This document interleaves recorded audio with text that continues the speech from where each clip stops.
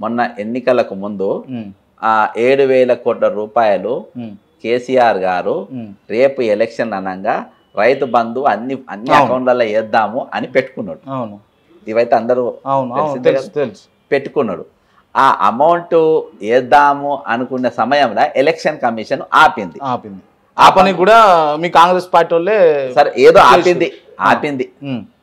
కొత్త ముఖ్యమంత్రి కాగానే కొత్త ముఖ్యమంత్రి కాగానే. ఎవరు వస్తే వాళ్ళ అకౌంట్లలో వేసేయాలి. ఓకేనా? మరి ఆ ఏడు వేల కోట్లు కేసీఆర్ తెచ్చి పెట్టిన పైసలు వాస్తవం. వాళ్ళ పైసలు ఉన్నాయి. ఆ పైసలు ఏమైనాయి? దాని మీద ముగ్గురు చెప్పాలి. ఒకటి ఫైనాన్స్ మినిస్టర్ చెప్పాలి. సెకండ్ మా రేవంత్ రెడ్డి గారు చెప్పాలి. మూడవది పొంగిలేటి సుధా ఆ, శ్రీనివాస్ రెడ్డి గారు కూడా చెప్పాలి. ఆ రైతు పైసలు ఏమైపోయినాయి? అవి ఆ పైసలు మీరు ఆ కరెన్సీ కట్టెలను తీసుకుపోయి మీరు కార్పొరేట్ వాళ్ళ నోట్లో పెట్టినరా కాంట్రాక్టర్ల నోట్లు పెట్టినరా రైతు నోట్ల మన్ను కొట్టి మీరు ఎవరి నోట్లో పెట్టినరో వాళ్ళు రేపు చెప్పాలి. ఇది ముగ్గురు.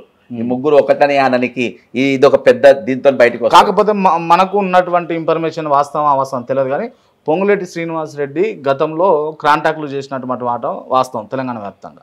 ఆయన బిల్లులన్నీ పెండింగ్లో ఉండే వెంటనే ఆ బిల్లులన్నీ కూడా గత ప్రభుత్వం ఆపింది ఇప్పుడు వచ్చిన ప్రభుత్వానికి మళ్ళించుకున్నాడు అని చెప్పేసి విన్నాం. వాస్తవం ఇది? బ్రదర్ నేను అందుకని ముగ్గురు కలిసి నేను అడిగిందే అందుకు. ఇటువంటి నాకు ఉంది కదా ఈ ముగ్గురు కలిసి ప్రెస్ మీట్ పెట్టి నేను అవసరమైతే దీని మీద సత్యాగ్రహం చేస్తా దీని మీద దీక్ష కూడా చేస్తా.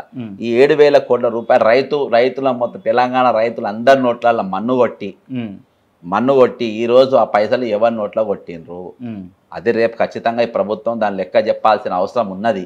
ఎన్నికల ముందే ఒక రోజు నేను బయటకి టెంట్కి నాకు పర్మిషన్ ఇయ్యరు నేను ఏం చేసుకోలేను. మా ఇంట్లోకి నేను మా ఇంట్లోనే దీక్ష కూర్చుంటా. మీరు మాకు లెక్క చెప్పాలి. ఇప్పుడు నేను వ్యక్తిగతంగా అడుగుతున్నా ఈ ప్రశ్న. ఇవన్నీ బక్క జాడ్సన్కి ఏం అవసరం అసలు? ఎందుకు బక్క జాడ్సన్కు ఫస్ట్ కూడా నాకు అవసరం లేదు కదా. ధరణి నాకు ఏమైనా భూములు ఉన్నాయా? మరి ఎందుకు? దీని వల్ల అయ్యా. దీని వల్ల బక్క జాడ్సన్ ఏడ లాభపడుతుందంటే ఏం లేదు. అవును ఏం లేదు. మరి ఎందుకు అంటున్నా నేను? బ్రదరు ఒకటి మనము నేను ఐడియాలజీ కానీ పాలిటిక్స్ వచ్చిందే టీనేజ్లో వచ్చిన. టీనేజ్ అంటే సిక్స్టీన్ ఇయర్స్ ఉన్నప్పుడు. పార్టీలకు వచ్చు. పార్టీలకు వచ్చిన ఎన్ఎస్వీలకు ఉమ్, ఆ రోజుకెళ్ళి ఈ రోజు వరకు ఆ రోజుకెళ్ళి ఉన్నోళ్ళు ఎట్లా తయారవుతారు? అప్పుడు ఇప్పుడు యాభై ఏళ్ళ వయసు ఉన్నది. అవును. ఎట్లా తయారవుతారు చెప్పు ఇక. అట్లనే తయారవుతారు ప్రతి దా నేను మాట్లా ఈ సబ్జెక్ట్ నేను మాట్లాడద్దు అనుకున్నా. నేను ప్రతి పిసిసి అధ్యక్షులతో అదివరకు మనం ఇదివరకు షేర్ చేసుకున్నట్టుగా డిఫరెన్స్ ఆఫ్ ఒపీనియన్స్ వస్తూ ఉన్నాయి. ఈసారి పిసిసి తెంతో ఆయన ఎన్ని తప్పులు చేసినా నేను భరించాలి అని అనుకున్నా. కానీ కాలేకపోయింది. ఈసారి ప్రభుత్వం వచ్చింది నేను ఇంట్లో ఏవి కూడా నిలనీయద్దు ఎటుపోయేది అడ్డే పోతుంది అనుకున్నా. వచ్చింది. నవీన్ మిత్తల్ అనేటోడు సందీప్ కుమార్ సుల్తాన్ అనేటోడు రామకృష్ణారావు అనేటోడిని విద్యాసాగర్ రెడ్డి అనేటోడిని ఇంకా ఈ దొంగలను అట్నే ఉండడు చూసి అడిగే పరిస్థితి నాకు వచ్చింది. కాబట్టి ఇది ఆ, విధానపరమైన అది మనకు జీన్స్లో వచ్చేసింది కదా దాన్ని మనం ఏం చేయలేము కాబట్టి నా లబ్ధి కోసం అని అంటే నా లబ్ధి కోసం అంటే నాకంటే ఈరోజు నిరుద్యోగులతో నా బాగా దోస్తానైంది క్రాంతి ఒకరోజు నువ్వు కూడా రావాలి. ఎక్కడంటే మన చిక్కడిపల్లి లైబ్రరీ ఉంది కదా. లైబ్రరీ కరెక్ట్ లెవెన్ థర్టీకి రా. పిల్లలందరూ చదువుకుంటూ లేచి ఐదు రూపాయల భోజనం వస్తుంది. ఐదు రూపాయలు ఇచ్చి ఐదు రూపాయలు అన్నం తిని చదువుకుంటున్నారు ఉమ్. రియల్గా నువ్వు నేను ఇప్పుడు కూడా. చూపెడతా ఇప్పుడు కేసీఆర్ కాదనుకొని రేవంత్ రెడ్డిని తెచ్చుకున్నాక కూడా. ఇవాళ నీకు చూపెడతా. రేపు కెమెరా పట్టుకొని రా. నేను రేపే చూపెడతా. ఓకేనా? ఐదు రూపాయలు లేనోళ్ళు కూడా ఉన్నారు. ఐదు రూపాయలు లేనోళ్ళు నువ్వు పన్నెండు అదే పన్నెండు గంటలకు రామకృష్ణ మఠం కాడికి పోతే లెవెన్ ఓ క్లాక్ ఏమో భిక్షగాన్లకు పెడతారు. ట్వెల్వ్ ఓ క్లాక్ వెళ్ళి కామన్ మ్యాన్ మామూలు ఎవరు నిలబడ నిలబడతారు ఆ లైన్లో నిలబడి ఆ లైన్లో నిలబడి అన్నం తినే నిరుద్యోగులు కూడా అక్కడ తిని ప్రిపేర్ అవుతున్నారంటే ఇంతకు మించిన దౌర్భాగ్యం ఏమేముంటుంది వాళ్ళతో నేను చాలా పాఠాలు నేర్చుకున్నా. ఏమైతే కానీ నేను వాళ్ళతో నేను టైం స్పెండ్ చేసిన టైం స్పెండ్ చేస్తున్నా. ఏమైనా కానీ ఎట్టు తెగితే అటు వీళ్ళతో కొట్టాడి తీరుదామని చెప్పి. ఒకరోజు దీక్ష పెట్టిండ్రు భయ్య. ఎవరు? నలభై ఆరో జీవో బాధితులు. రాత్రంతా ప్రయాణం చేసి ఇందిరాగాంధీ మన ఇందిరా పార్కు ధర్నా చౌక్లో ధర్నా ఆ, టెంట్లు వేసిండ్రు. ఎవరు ముఖం కూడా కడుక్కుండో లేదో. టాయిలెట్ కూడా ఎవరు లేవలే. నీళ్ళు దాకుండా సాయంత్రం నాలుగైదు దాకా కూర్చున్నారు ఏది దీనిపైన నలభై ఆరు జీవో రద్దు అయితే. మాకు నౌకర్లు వస్తే మా బతుకులు బాగుపడతాయి అని చెప్పేసి వీళ్ళు మొత్తము కూర్చున్నారు వీళ్ళు. అరే ఇంత గట్టిగా కూర్చున్న వాళ్ళను నలభై ఆరో జీవో అది కొట్టేస్తే నౌకర్లు ఎక్కేటి వాళ్ళందరినీ వీళ్ళ నోర్లు కొట్టి దాని మీద అపాయింట్మెంట్లు ఆర్డర్సే ఇచ్చేసింది వేరే వాళ్ళకు. యాభై మార్కులు వచ్చిన వాళ్ళకు. నూట ఇరవై నాలుగు మార్కులు వచ్చిన వాళ్ళకు నౌకరు రాలేదు. నలభై ఆరో జీవో లబ్ధిదారులకు మొత్తం మొత్తం నౌకర్లు వచ్చినాయి.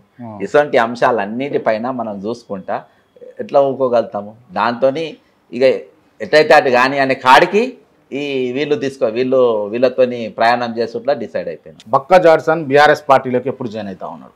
ఎప్పుడు పోతా ఉన్నాడు. ఎవరు నేను ఏ పార్టీలోకి పోవద్దనే తెలంగాణ వనరుల రక్షణ సమితి అని పెట్టుకున్నాను. నేను ఇప్పుడు దాకా నీకు చెప్పిన ఆ ఎజెండానే. మానవ వనరులు. యువ వనరులు.